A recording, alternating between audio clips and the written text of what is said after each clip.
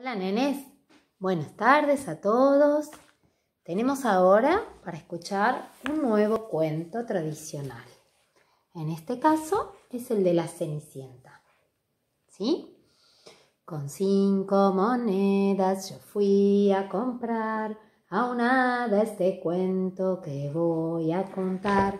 Lo tengo escondido, lo voy a sacar. Si quieren escucharlo, ya va a comenzar.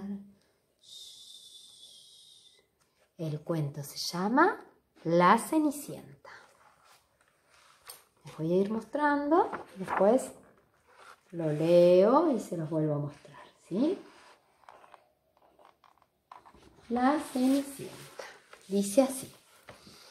Había una vez un pequeño reino en el que vivía un hombre que al quedar viudo con una hija se volvió a casar con una mujer viuda también, muy presuntuosa y soberbia que había tenido dos hijas iguales que ella. Un desdichado día el hombre se murió, dejando a su dulce y única hija con la madrastra y las dos hermanastras. Desde ese momento la muchacha fue tratada como una sirvienta. Ella ni se quejaba y soportaba todo con paciencia.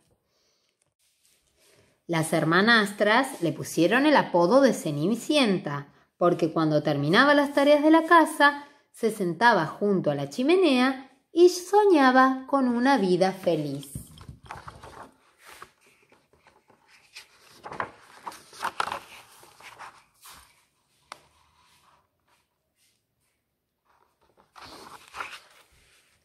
Aquel pequeño reino estaba gobernado por un viejo rey que un día, tras una larga reunión con sus ministros, decidió que había llegado el momento de que su hijo, el príncipe Enrique, contrajera matrimonio y fuera el sucesor en el trono.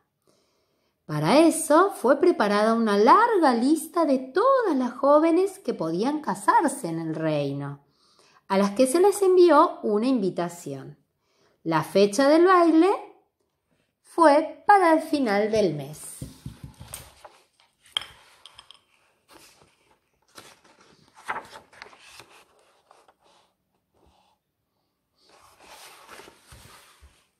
La invitación fue enviada también a casa de Cenicienta, y ya se pueden imaginar la sorpresa y el revuelo que provocó esta noticia. Cenicienta tenía que obedecer las órdenes ininterrumpidas de las tres mujeres. Planchaba, bordaba y cepillaba los bonitos vestidos de las hermanastras, quienes se divertían burlándose de ella. ¿Qué te vas a poner para el baile, Cenicienta? le preguntaban. ¿El vestido azul de encaje o el traje rosa bordado en plata? Y se reían a carcajadas sabiendo que la pobrecita solo tenía el vestido que llevaba puesto, todo roto y sucio de cenizas. Por fin llegó la noche del baile para las dos hermanastras y la madrastra. Todas engalanadas y sin despedirse siquiera de Cenicienta, se fueron en su carroza, la que se alejó en dirección al Palacio Real. Solo entonces la pobre muchacha se pudo retirar a su pequeño desván y desahogar su dolor llorando desconsoladamente. Dos pajaritos que vivían en el techo, al ver a su amiga tan triste, pensaron ayudarla. A pesar de lo tarde que era, alzaron el vuelo en dirección al bosquecito de arándanos. Se metieron en una rama que había enfrente de la ventana de la hada madrina y comenzaron a piar hasta que el hada se asomó soñolienta. Cuando comprendió lo que estaba sucediendo, el hada se vistió, buscó su varita mágica, tomó una calabaza y una jaula pequeña con dos ratoncitos blancos y pronunció su frase mágica. Biribí, biribengo, memoria no tengo. Biribengo, biribí, hazme marchar de aquí.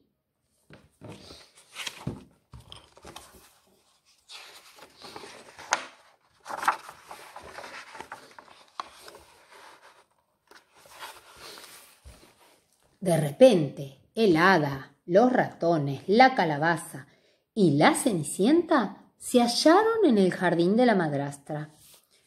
No llores, dijo el hada madrina, no querrás ir al baile con los ojos enrojecidos. Y levantando la varita mágica, exclamó Biribí, vengo. y se produjo el encantamiento. Los dos ratones se convirtieron en veloces corceles blancos y la calabaza se transformó en una maravillosa carroza. Ha llegado tu hora, dijo el hada a Cenicienta. Después de haber pensado un momento, el hada madrina pronunció la fórmula mágica. Biribí, biribengo, biribela, serás tan elegante como una damisela. A continuación, rozó su cabeza con la varita y sus pobres harapos se convirtieron en el traje más bonito jamás visto. Entre su larga melena apareció una magnífica diadema de perlas y un par de atractivos zapatitos completó la obra. Radiante de alegría, la muchacha subió a la carroza después de oír las últimas recomendaciones del hada. Recuerda que tienes que volver antes de la medianoche, porque pasada esa hora todo volverá a ser como era. No lo dudes, seré puntual, respondió Cenicienta, y la carroza partió en dirección al castillo.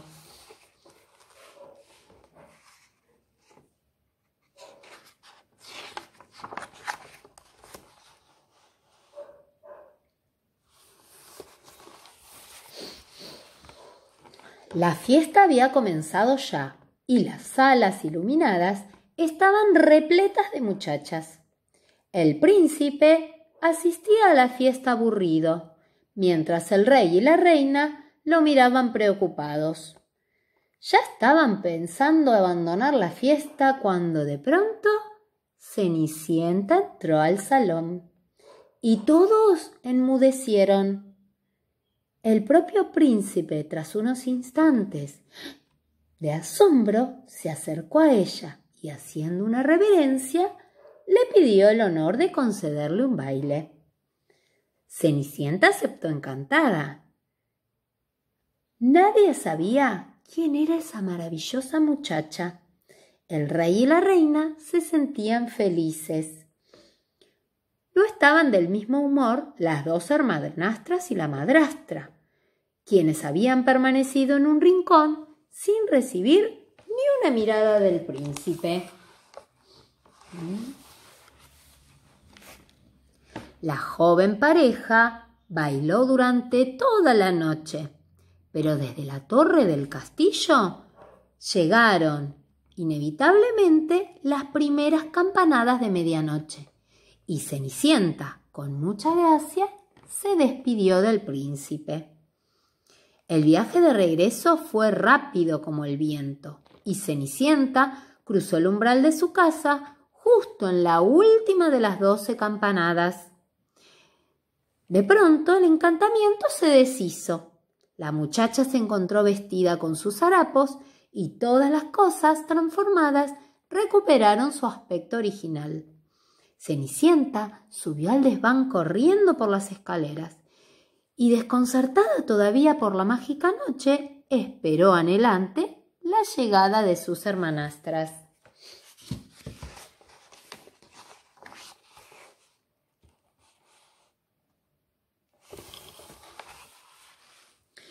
Nadie se podía imaginar la cantidad de mentiras que las hermanastras contaron a Cenicienta. Mira, Cenicienta, el príncipe Enrique me ha pedido que bailara con él esta noche. Y la otra, el príncipe bailó también conmigo. Cenicienta escuchaba con paciencia y sonreía. La noche del día siguiente, la madrastra y las dos hermanastras se dirigieron de nuevo al Palacio Real porque el príncipe había decidido prolongar la fiesta un día más para volver a ver a tan misteriosa doncella. Sin perder tiempo, Cenicienta subió al desván, despertó a sus amigos los pajaritos y los, les suplicó que dijeran a la hada madrina que se reuniera con ella en el jardín. El hada acudió rápidamente, volvió a pronunciar la fórmula mágica y de inmediato Cenicienta se transformó de nuevo en la atractiva muchacha de la noche anterior.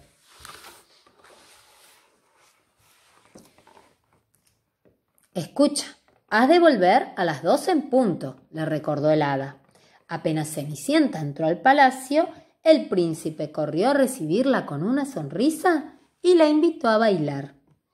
Aquella noche el príncipe Enrique le declaró su amor y le pidió que se casara con él. Cenicienta quería aceptar, pero su respuesta se interrumpió con la primera campanada de medianoche. Era demasiado tarde para permanecer allí más tiempo.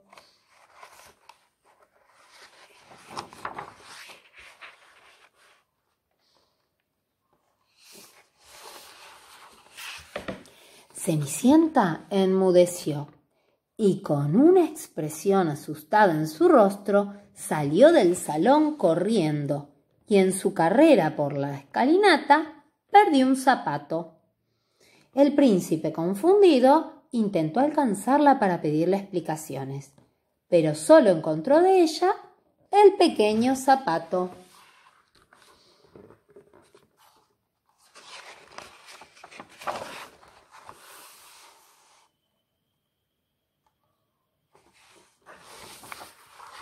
Al día siguiente, el príncipe ordenó a sus pajes que probaran ese zapato a todas las muchachas del reino. Así, un paje real llamó también a la puerta de Cenicienta, y tras intentar calzar el zapato a las hermanastras, soltó una carcajada y comentó Estos no son pies, son pezuñas de elefante. Las dos muchachas no pudieron contener las lágrimas. Dejaron de llorar cuando oyeron una vocecita a sus espaldas que decía ¿Puedo probármelo yo? Vuelve a la cocina, Cenicienta, exclamó la madrastra. Este no es un sitio para sirvientas. Pero el paje la interrumpió. Tenemos orden de probar el zapato a todas las muchachas del reino. Hicieron que se sentara Cenicienta y apenas ella introdujo su pie en el zapato, volvió a adoptar el aspecto de la bella desconocida del palacio real. La sorpresa de las hermanastras fue realmente enorme.